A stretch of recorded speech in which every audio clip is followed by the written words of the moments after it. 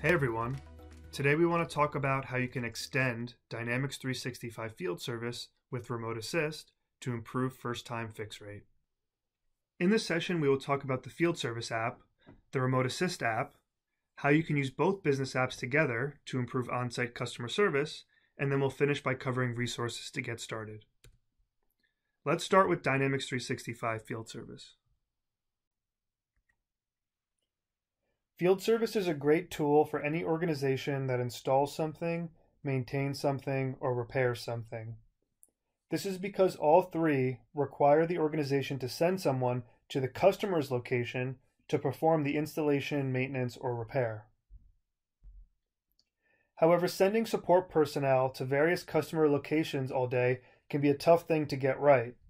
First of all, managing everyone's schedules to ensure they are meeting customer timelines is tough and ensuring everyone's driving routes is minimizing travel time is also difficult. And also, ensuring that when technicians arrive on site, they know where to go, what to do, and can fix the issue the first time is extremely tough. Any good field service organization will measure this, and it's called first time fix rate. If you need to send a, if you need to send a technician back to the same customer location, that costs a lot of money and is annoying to the customer.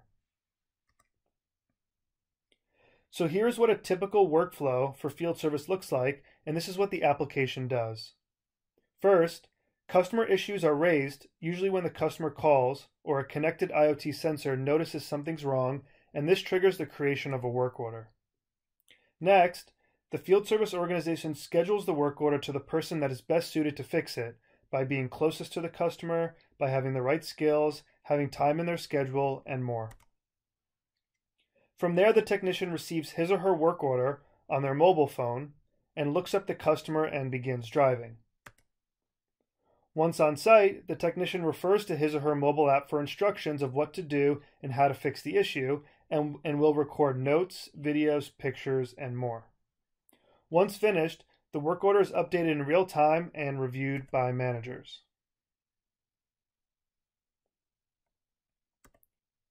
In summary, the work order is created from a customer issue. Next, it is scheduled with advanced scheduling tools. And then finally, it, it is resolved by the technician with the help of his or her mobile app. So at this point, everything we've talked about is part of the Dynamics 365 Field Service app. Next, let's talk about the Remote Assist app.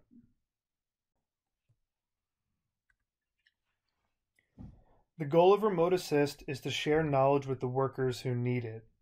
This is achieved by making remote assist video calls between a worker who is on site, working on a piece of equipment, for example, and an expert who may be at a different location. This allows the expert to see what the worker or technician is seeing and provide guidance in context to solve issues faster. Having said that, what makes Remote Assist so powerful is that it uses mixed reality with the video calls. This means the expert and the worker can both make 3D drawings called annotations on what the worker is seeing, as you can see in the pictures to the left and to the right. Also, to make it easy for any organization to deploy, Remote Assist is available on HoloLens headsets as well as Apple and Android phones and tablets. On top of annotations, the expert and the worker can also share files and record the Remote Assist calls for later viewing. And finally, Remote Assist is, integrate, is integrated, secure, and flexible and can be used with other apps like Field Service, which we will dive into later on. So let's take a quick look at Remote Assist in action. So let's take a quick look at Remote Assist in action. First, the field technician will launch the Remote Assist call from their phone or HoloLens headset. The expert, shown to the right, will receive this as a Microsoft Teams call. When the expert answers, he or she will begin to see what the technician is seeing.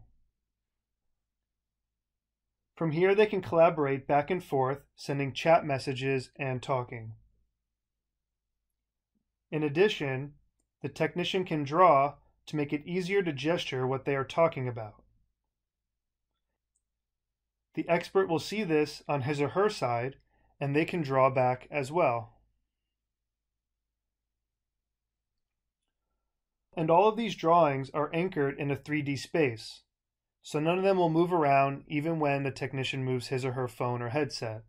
This is what makes it mixed reality. Next, let's talk about how you can use field service and remote assist together with an out-of-the-box integration. Looking back on our field service workflow, let's see how remote assist fits in. At the part where the technician is on site, he or she has the option to make a remote assist call and ask an expert questions, which greatly improves their chance of fixing the issue. And furthermore, when they are done with the work, the remote assist call details are posted to the work order for reference later on. Let's take a look at this in action. On the left is a technician using Field Service Mobile. On the work order is a support contact of who to call if he or she needs help. Then, from the app, you can open Remote Assist with a deep link and the support contact will be chosen to launch a call.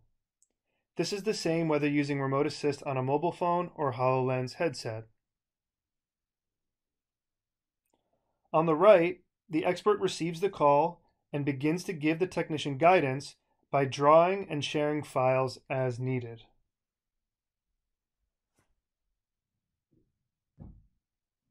Once the issue is resolved, the technician can end the call and post the call details to the related work order. In the back office, the call details are posted on the work order timeline. So to review the field service and remote assist integration, first you can note the support contact on a field service work order, and this tells the and this tells the technician who the expert they can call is. Next, you can deep link from the Field Service mobile app directly into the Remote Assist app and call the support contact. And then finally, when the call is over, you can post the call to the work order and a call log, sh- any files that were shared, and the call recording will all be noted on the work order. From a business perspective, the integration is important to organizations for three main reasons. First, it will greatly improve first time fix rate because the number one reason issues don't get resolved on site is lack of knowledge and guidance. And this saves a lot of money because dispatching another person on another day costs a lot of money in time and resources, and sometimes even in SLA penalties for certain industries. Next, by posting the remote assist call to work orders, managers can verify work was done correctly and sign off on a job complete. Similarly, those call recordings can be used for training opportunities. So for example, if a work order was a certain type of installation and those installation jobs have a lot of remote assist calls noted, then your organization may want to provide more training on that installation to reduce technicians needing help. Only this time, lack of training isn't going to hurt customer satisfaction. Here are two links that you can go to to learn more about Remote Assist and the field service integration.